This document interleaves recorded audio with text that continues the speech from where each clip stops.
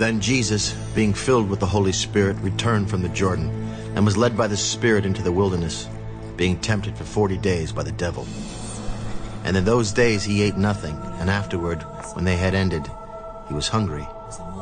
And the devil said to him, If you are the Son of God, command this stone to become bread. It is written, Man shall not live by bread alone, but by every word of God.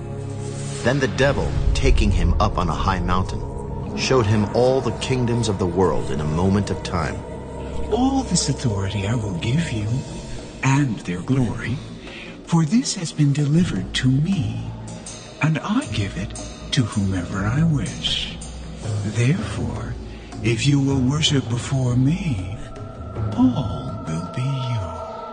Get behind me, Satan. For it is written, You shall worship the Lord your God, and him only you shall serve. Then he brought him to Jerusalem, set him on the pinnacle of the temple. If you are the Son of God, throw yourself down from here. For it is written, He shall give his angels charge over you to keep you, and in their hands they shall bear you up, lest you dash your foot against a stone. It has been said, You shall not tempt the Lord your God. Now when the devil had ended every temptation, he departed from him until an opportune time. Then Jesus returned in the power of the Spirit to Galilee, and news of him went out through all the surrounding region. And he taught in their synagogues, being glorified by all. So he came to Nazareth, where he had been brought up. And, as his custom was, he went into the synagogue on the Sabbath day and stood up to read. And he was handed the book of the prophet Isaiah.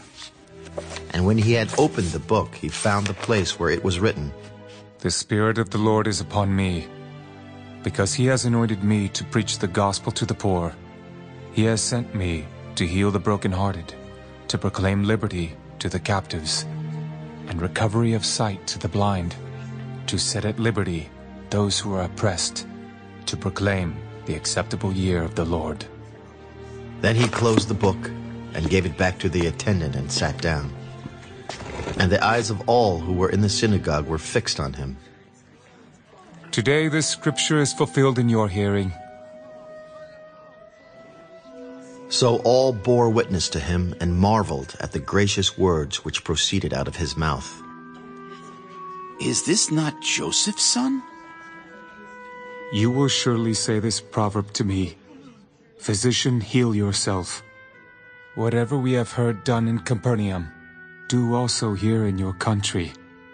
Assuredly, I say to you, no prophet is accepted in his own country. But I tell you truly, many widows were in Israel in the days of Elijah, when the heaven was shut up three years and six months, and there was a great famine throughout all the land. But to none of them was Elijah sent, except to Zarephath, in the region of Sidon, to a woman who was a widow. And many lepers were in Israel in the time of Elisha the prophet, and none of them was cleansed, except Naaman the Syrian.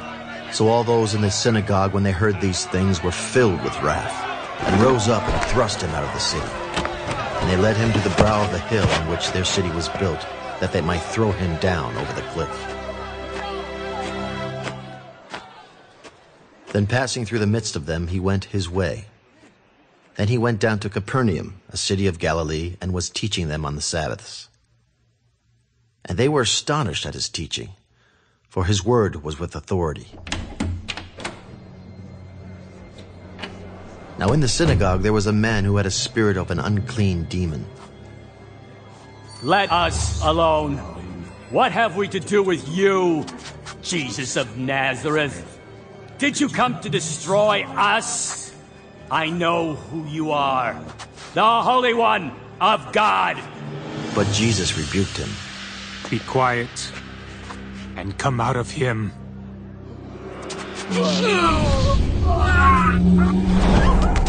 And And when the demon had thrown him in their midst, it came out of him and did not hurt him.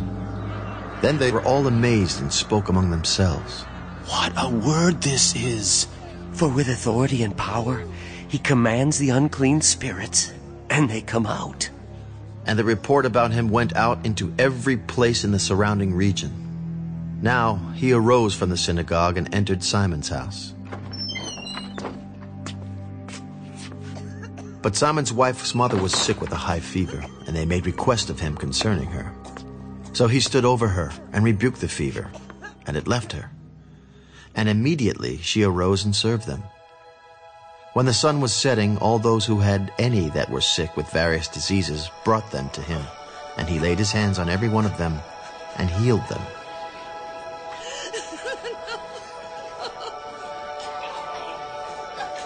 And demons also came out of many, crying out and saying, You are the Christ, the Son of God! And he, rebuking them, did not allow them to speak, for they knew that he was the Christ. Now when it was day, he departed and went into a deserted place, and the crowd sought him and came to him and tried to keep him from leaving them.